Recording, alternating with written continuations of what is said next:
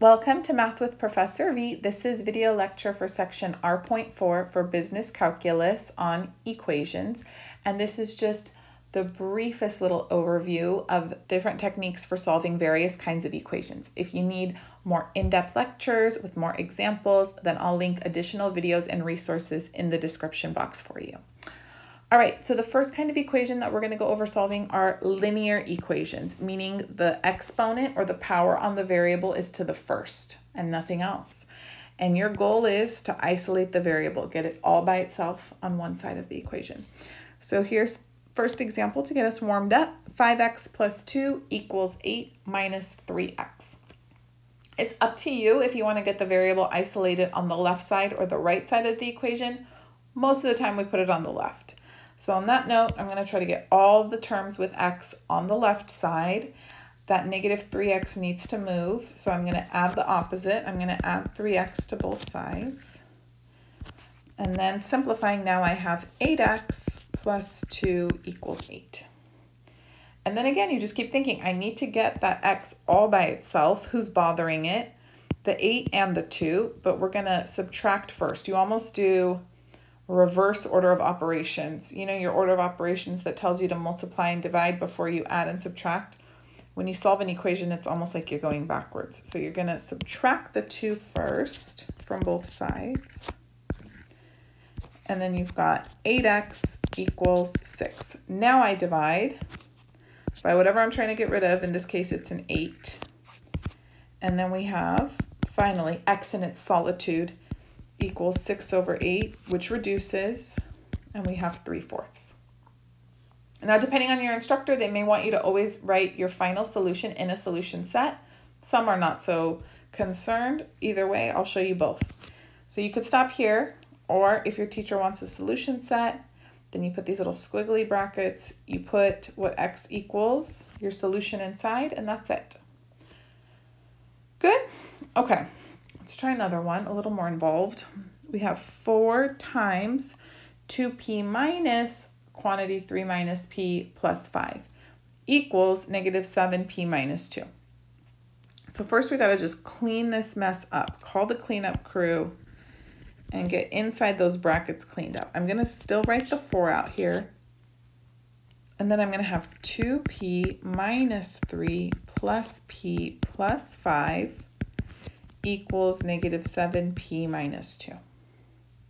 Make sure you write down everything every step of the way. If you just try to clean up a little bit and then put it all back in, usually that's when students make mistakes. So I'm giving you this warning from having watched their errors.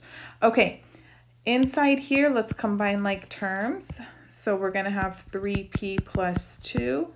And then I have the 4 outside. I can switch to just regular parentheses now. Equals negative 7p minus 2 and then distribute. So this is 12p plus 8 equals negative 7p minus 2. And then again, we want to get all the variables on one side and then divide by their coefficient. So I'm going to add 7p. So what do we have now? 19p plus 8 equals negative 2. Subtract 8 I'm not going to write it on both sides. You can do it in your head. It's totally acceptable. So 19p equals negative 10. Divide by 19p is negative 10 over 19. And nobody in the directions said give a decimal, round to two decimal places. So we don't. We leave our answers as simplified, completely reduced fractions. And you know, negative 10 over 19 may not be your favorite fraction, but it's the answer. It is what it is. Should you need to put it in a solution set, then you would just write it like so. All right. Okay, enough with linear equations. Next, we're going to focus on quadratic equations. So your goal with most quadratic equations is to set it equal to zero. So different idea than linear. Linear, we wanted the variable on one side, all the constants on the other. Quadratics, no, we want a zero on one side.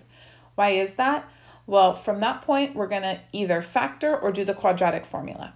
If the quadratic equation factors, then we use the zero factor or zero product property, which tells me if you have a times b equaling zero, assuming a and b are real numbers, then either a is zero or b is zero or both are zero. If it doesn't factor on the left-hand side, your quadratic equation, your quadratic expression, then you're going to use a quadratic formula. Here's the quadratic formula. You need to put it to memory. It never goes away. You'll use it a lot throughout the course. x equals opposite of b plus or minus the square root of b squared minus 4ac all over 2a. All right. Now notice here the directions are a little different for these quadratic equations. It says solve.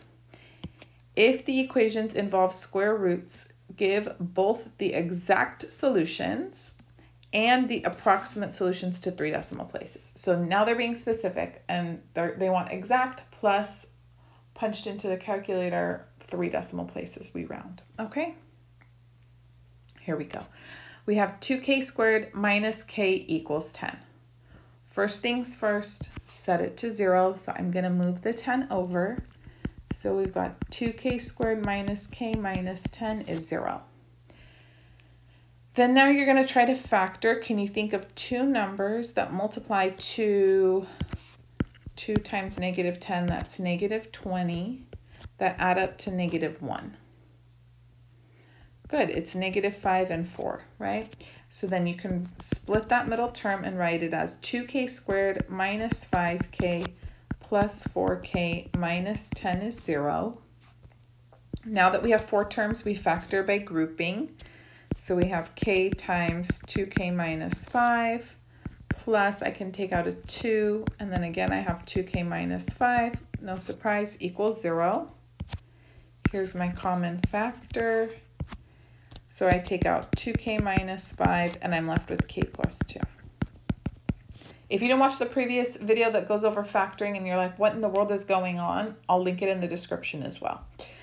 So now we can use the zero product property. This is basically A, this is B.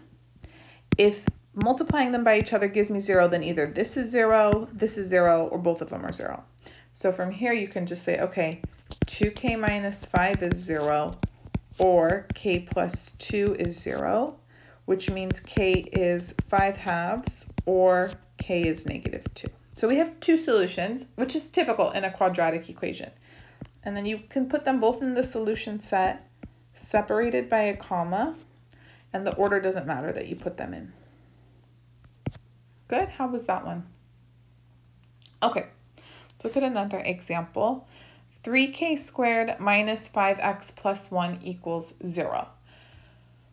So let's see, can we factor this? Because it's already said equal to 0, so that's good. a times c, that's 3. b is negative 5. Can you think of two numbers that multiply to 3 but add up to negative 5 at the same time? I certainly can't, right? Because the only factors of 3 are 3 and 1. And no matter how you slice or dice it, that's never going to add up to negative 5. So we can't factor. What do we do? We don't cry. We're going to use the quadratic formula. So in this case, A would be 3, B is negative 5, and C is 1. So x equals opposite of B, which is going to make it positive 5, plus or minus the square root of b squared minus 4ac all over 2a. Good, so this is 5 plus or minus square root. That's going to be 25 minus 12 over 6. And then we have 5 plus or minus square root, 25 minus 12, that's 13 over 6. Now, this is considered your exact answer. Radical 13, that doesn't simplify, and then nothing else can be reduced. So if they ask you just for the exact answer and they didn't tell us to round, then we would stop. However, the directions also said to give it rounded to three decimal places. So you're going to punch in your calculator twice. One time you're going to do 5 plus rad 13 and then divide all of that by 6. And then the second time you're going to do 5 minus rad 13 and divide all of that by 6. And then if you round to three decimal places, you should get 1.434 for the first one. And then for the second one, when you do 5 minus rad 13 divided by 6, you should get 0.232. Okay? Which one to put in the solution set? If they ask for both, put both. If they didn't say they wanted it rounded, then you would just by default give this exact answer here. This is exact because it's not been rounded or tampered with, right? Like if you only gave these two values and then someone came up to you and said, well, actually, I, I changed my mind. I want it rounded to five decimal places and this is all you had, you'd be stuck. But here in this pure exact form, it's like you can round it to whatever you need. We have not tampered with the values. Okay, last kind of equation we're going to go over are equations with fractions, aka rational equations. And there's a whole process to this. I'm just going to summarize it briefly. You want to factor all the denominators first. Then from there, you're going to list restrictions on the variable. I'll explain what that is in just a minute. Then you multiply everything by the LCD. And guess what? Yep, I've got a whole separate video on this because this can be difficult if you haven't done it for a while. Now, let's look at this first example here. 5 over p minus 2 minus 7 over p plus 2 equals 12 over p squared minus 4. So first thing, I need to factor all the denominators, and almost everybody is. It's just p squared minus 4 is not factored. So p squared minus 4, that's a difference of squares. I'm going to factor it into p plus 2 and p minus 2. Now the next step is I have to list all the restrictions on the variable. Remember, we're not allowed to have zeros in denominators of fractions. That makes them undefined. So you want to restrict p in this case from taking on whatever value would make each of the denominators zero. So here I could see p should not equal 2. That would be problematic. p also should not equal negative 2. And again, same restrictions as over here. So I'm going to list that. That way at the very end, I don't accidentally report 2 or negative 2 as one of my solutions. Ah. Okay, the next thing is we have to identify and multiply everything by the least common denominator. So in this case, the LCD, my least common denominator would be p minus 2 times p plus 2. So let's multiply everybody by that up top. If you need to remind yourself that this is over 1, go for it. Or just make sure you put it in the numerator.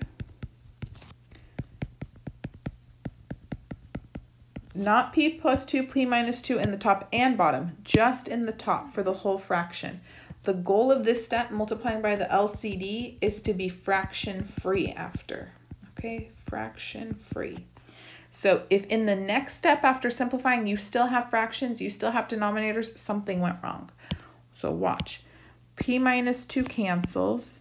All I have left now in that first term is 5 times p plus 2 minus, now p plus 2 cancels here, so I have 7 times p minus 2.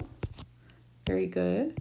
And then these guys all cancel out, equals 12. Beautiful. Now look what a non-threatening equation this is with no fractions. I love it. So we distribute 5p plus 10 minus 7p plus 14 is 12. Combine like terms, negative 2p plus 24 is 12. So negative 2p is negative 12, which means p is 6. Was that one of my restrictions? No. So I can put it in the solution set and report it as my final answer. Isn't that fabulous? All right, one more. 2 over x squared minus 2x minus 3 plus 5 over x squared minus x minus 6 equals 1 over x squared plus 3x plus 2. So first thing we have to do, factor all the denominators. So 2 over, this is going to be x minus 3 times x plus 1. The next one's going to factor into x minus 3 times x plus 2. And then lastly, we have 1 over very good. x plus 2 times x plus 1. Okay, let's list what the restrictions are on the variable. So x can't equal positive 3, negative 1, or negative 2. That's everything. 3, negative 1, negative 2. And then what's the LCD? It would be x minus 3, x plus 1, x plus 2. That's the common denominator. So you don't get a common denominator, you multiply everybody by the common denominator up top because our goal is to become, that's right, fraction free. Okay. Sometimes I just write LCD up top and do it in my head. You're more than welcome to. So x minus 3, x plus 1 cancels all I have left is 2 times x plus 2 plus, who cancels here? All of this with x minus 3, x plus 2. So we've just got 5 and x plus 1. And then over here, this is all gone, this is gone. And I just have x minus 3. Beautiful. Now distribute and solve for the variable. So 2x plus 4 plus 5x plus 5 equals x minus 3. This is going to be 7x plus 9 equals x minus 3. So we have 6x equals negative 12, so x is negative 2. All right, good. Should we put it in the solution set? No, look, x can't equal negative 2. That was one of our restrictions. So what do we do? Well, we have no solution to report, and you just tell them that's what happened. Don't feel badly. There's no solution. Another way you could write no solution is this zero with a line through it. That means no solution. It stands for the empty set. Third option, you could draw an actual empty set with nothing inside it. Yes, that's legitimate notation. The one thing you cannot do is put the empty set inside a set now that set is non-empty, okay? So don't do that. That means something else. But here's your three options for no solution. Ask your instructor what they like though, okay? So that concludes the video. That was like rapid fire, especially with the rational equations. Like I said, I have many more videos. So if you are in the boat where you're like, I need more examples, I need more of a breakdown, I got you. But this is just supposed to be little overview right before you start your business content. So don't forget to subscribe, give the video a thumbs up. You can follow me on Instagram and TikTok, Math with Professor V, and I'll be back sooner than later with the rest of your video lecture series.